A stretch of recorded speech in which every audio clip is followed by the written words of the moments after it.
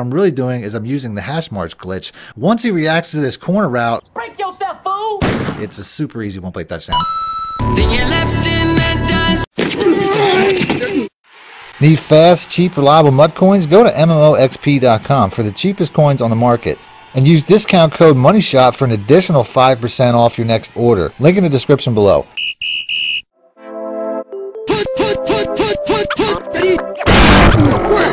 Welcome back, YouTubers and Madden fans. This is Madden Moneyshot, sniffing out the Mad Cheese as always. Got another gameplay slash offensive scheme video for you guys today. Today, I'm going to be tackling a very specific defense, a defense that a lot of people consider essentially the meta in Madden pretty much since February, that's cover three. This particular offense I'm going to show you today is the reason I started using the Tampa Bay Buccaneers playbook. And this offense is just going to absolutely destroy anybody that runs cover three, which is like 90% of the people you see online. If you guys want to see more offensive based gameplay around coverages, do me a favor, let me know in the comment section or hit the like button. I just put out a full breakdown of an offense similar to uh, this offense out of the same playbook, the Tampa Bay Buccaneers playbook that was specifically geared towards man zero blitzes. I'll put a link in the description for that, so if you struggle with that, it's also a very good offense that I put out, a very good gameplay that I put out. Other than that, I'll also put out a link to the this defense that I'm going to show you right now. This is going to be the defense I'm going to be running. Uh, yeah, I'm going to be mixing in a lot of defenses in this gameplay, but this is a defense that I just put out, the Will Fire 3 seam. This is a very good blitz and a very good run defense, as you can see on the very first play. My opponent ain't going nowhere. The second play is going to do the exact same thing. Nope. He's going to end up with the exact same results. That makes him turn to the offense I'm going to show you today, and that's basically the uh, the split close, which is, you know, he must be using the Bucs playbook. He's got the Bucs logo. He's probably a Bucs fan. Uh, so we're probably both using the exact same playbook, and you're going to see that he's going to have the exact same success as the second he switches to the split close, he busts me for about 15 yards on the very first play. Very next play, the exact same thing. I get a little bit of pressure, which was designed, but he beats him right over the middle for another big chunk play. So not only am I going to show you how good this defense is, my opponent's going to show you how good it is by basically beating me right down the field as he's picking up 10 plus pretty much every play. Then once he gets inside the uh, 30, he decides to switch up a little bit, which was a mistake. Nope. But that's pretty much where his offense is going to fizzle out. He pretty much he should have stuck with the split close. Second and eight, I'm just basically I switched my defense up entirely. I'm running cover four quarters, which is something that I've run quite a bit. You can see right here we shoot the gap. Get over here! Get another stop. Uh, then on third and nine, he does this a lot where he goes empty backfield. I basically hit him with another defense that I put out recently. We. Woo! I'll put a link in the description for that blitz as well. As you can see, we get an instant sack and we force the field goal. So he goes right down the field. Pretty much all the success he had was from this very same offensive formation, the gun split close, which is the formation I'm going to show you guys today. All the stuff you see in this gameplay today, I've put out in practice mode videos. So if you want to learn how to do any of this stuff, just go into the description and click the links. It's really that simple. Now, the only real adjustment that I make is I typically switch my running backs around because this particular running back is probably the running back spot that gets used the most, the most important in the passing plays and the run plays. So I typically want to flip them and put my best running back there. Other than that, I also put the fullback inside. I replaced the slot curl play, which is my X play. Uh, I typically want to have the fullback inside there, but you you know, there's a lot of different plays you can choose. There's so many great plays in this particular formation. This is my go-to offense right now, and on 99% of games, I start the play off with the fullback inside. It's multiple times I've taken this run play to the house, but ultimately I just want to get to the sideline. It serves a dual purpose. I just want to see what defense he's running, which obviously is cover three because that's what everybody's running, but I also want to get to the sideline. I want to run these plays from the sideline because all the cover three one play touchdowns I'm going to show you are all best run from a hash mark. So the first play I'm going to show you is going to be the Z spot. This is probably one of my favorite right now because there's so few tells. There's only one adjustment. All I have to do is streak the B route, and that's all I have to do, and it's a cover three one play touchdown. But based off of the fact that I can see my opponent is using on the left side, I know that he's never going to be in position to make a play, which is one of the reasons if you're going to run this offense, identifier is really key. It's one of the best things that you can run is identifier when it comes to MUT on offense. It's only a point.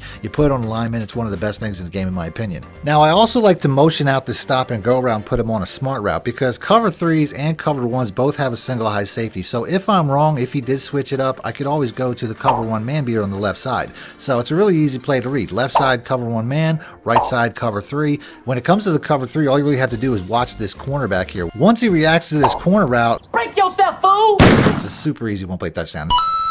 Then you're left in the dust. So two plays into the game and we're gone. On the defensive side, on the very next play, I try to set up my defense. I get caught on a defensive tackle. Well, I see where he's going to go with the ball, but I'm just, I'm too slow. I'm stuck on a DT. On the very next play, it's going to happen again. Oh! as I'm stuck on my even slower defensive tackle this time. You can see in two plays, he's going right down the field. Then on fourth and inches, I, I meant to use the defensive end here, uh, but I didn't expect him not to be able to put his hands up when I tried to jump that route. Oh, you almost had it. First and goal, he starts hitting me with some uh, goal line plays. Like I said, this guy, he likes to run the ball, but he's not that good at it, so I don't know why he keeps doing it. You suck. As he only picks up two yards. He's having way more success passing. So on the next play, I get stuck on the defensive tackle again. Only this time I'm not going to let it stop me. I'm coming away with an interception. Big man, 300 pounds, slowest guy on my team. I was looking to pitch it the entire way, but there was just nobody that I could pitch it to to try to take it to the house. So back on the offensive side, I'm going to run the spot option play. This is a play that I put out in a gameplay not too long ago. If you guys want to see an updated pistol bunch TE out of the Saints playbook on Saturday, let me know in the comment section with the like button. I want to do an updated version of that as well. That would be a practice mode version. So if you guys want to see that, hit the like button. This is the setup for this particular play, although my opponent, as you can see, he's he knows where the play's going now. Now that I beat him once up the seam, he's not going to let that happen again. So I got to take the flats. On the very next play, though, we're going to go right back to the split close offense. We're going to go right back to the same play. I probably shouldn't have been a little bit smarter. I probably shouldn't have went straight back to the Z spot, but I had some success the first time. I wanted to see if it would work again. And then sure enough, he's watching that again. So I can't keep hitting the exact same one play touchdown. This is what's going to happen. If you have success with a play, a lot of times people will make sure to user that, Nope. make sure it doesn't happen again. So I take the flats one more time, which once again serves a dual purpose. I'm going to consistently try to get this offense to a hash mark, whether it's on the left or the right. All these plays are designed to set up the next play and get to a hash mark. So I'm not going to use the Z spot anymore. That play's out. But since he's watching that side, I'm just going to switch to the other side and run the PAF slide.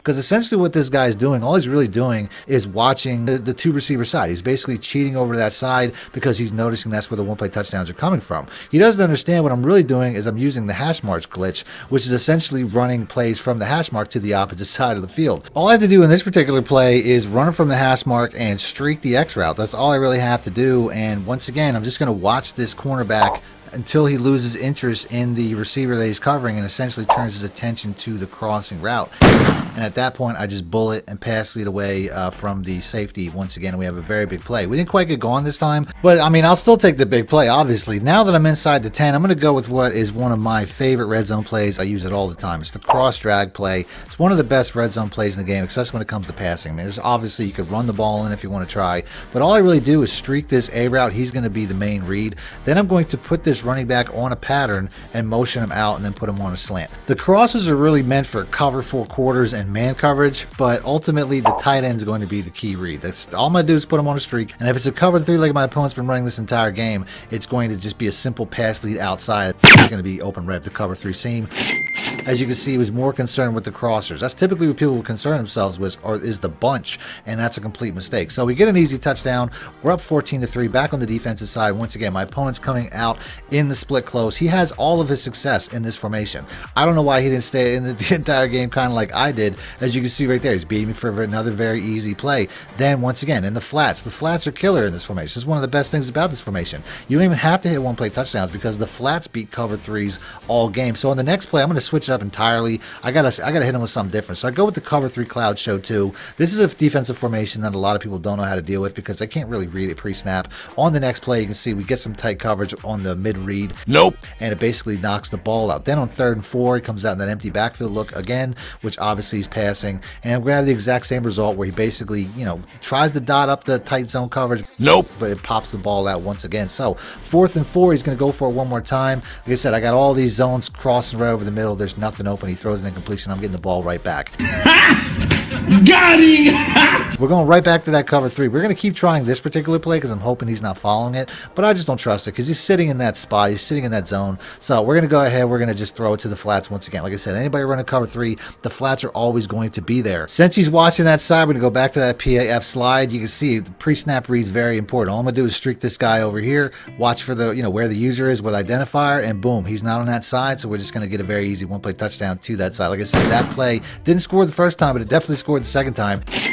You can see my opponent made an adjustment too. He was sick of the uh, the flat, so he made a hard flat coverage adjustment. It's a bold strategy, Cotton. Let's see if it pays off for him. But it didn't matter because I'm trying to go up top every time. So back on the defensive side, up 21 to three. You got balls. I don't know, man. I just messed that up as a user. I mean, that really should have been an interception. I probably picked those off 99 times out of 100, but for whatever reason, I just let them go right down the field on me in one play. Then on the next play, I mean, I basically make another user error as I just I just cut that off too short. So two plays and he's right down the field on me one time. But this is where he's had the most trouble is once he gets into scoring range. And I got to be honest, I play pretty good defense when I'm in a box like this. So on the first play, Nope. he throws an incompletion. On the next play, the second I see that running back, I'm pretty sure he's going to try to run the ball. So I do try to tighten up the line a little bit, and he just kind of falls forward for a couple of yards. But really, he shouldn't have got anything. So now he's basically third and goal. I got a good feeling he's going to go for it on fourth and goal. We're going to switch it up. We're going to go with the cover four quarters. This is a very good goal line defense. Uh, I've put this out out of multiple different formations. I really think this is one of the better ways to go, and I'm going to use it again here. As you can see, he's coming out in a goal line set. Pretty much just going to send the house. I'm just going to basically send everybody, go run commit, and sure enough, we get an easy stop. Nope. Although he got very close right there as he goes for the fullback dive. Then I'm going to go with my fullback dive defense, which once again, out of the 3 4 under, is the cover four quarters. This is the second play in the formation I was telling you guys about. It's a very good run defense as a whole. All I'm really going to do, the real main thing that makes this a good defense against uh, fullback dive, is shifting this line so this defensive tackle is right in this gap. If I do this, he's going to blow this play up easily. Now, of course, he switches the play at the last second, goes the opposite way. Nope. But luckily, we still get a shed and we still get a stop. So very good run defense. Although I have my back against the wall here, not a good place to be in. But since I'm up three touchdowns, I don't really care. On the first play though, he tries to send the house, comes out in a cover zero. Uh, so I'm going to try to beat him with that cover zero. I got very good plays for man zero. I said I had a previous play where I was just torturing a guy with man zero the entire game. The Buck seems is one of the best plays to run. Uh, but on this next play here, I throw the ball a little bit too soon, and we're throwing an interception. It was just, you know, it was just a bad timing throw. And I don't know how, looking at it from this angle, how this guy doesn't score, but somehow he figures out how to not score, and he gets the ball back to the one yard line. So on the next play, first and goal, we're going to do the exact same shifts. Tries to hit me with a quarterback dive, which is a good adjustment. Nope. But he doesn't get in. He must have had his knee down. Then on the next play, we're going to do it one more time. He goes for that fullback dive one more time. Nope. We make that shift though, and like I said, you're just going to get that stop. Because he looks like he lost a yard, in my opinion. Then on the last play, he finally gets smart, goes with a toss in the complete opposite direction. Once again, how do you not score from there? You've got Barry Sanders five yards. There's nobody in front of him. Instead, my dude comes out of nowhere with a monstrous hit stick, and we're getting the ball back at the two again, which is not a position where I want to be in. But with three seconds left, he figures why try down three touchdowns. So he's going to end the game there. So that's it. That's the video. If you guys want to see more videos like this, do me a favor, hit the like button let me know in the comment section. Other than that, thanks for watching, man. Moneyshot out. Need more help or just want to show your support? Then head over to my Patreon and join my team, where you can get exclusive content like ebooks and bonus plays, as well as early access to my vids and more. Link in the description below.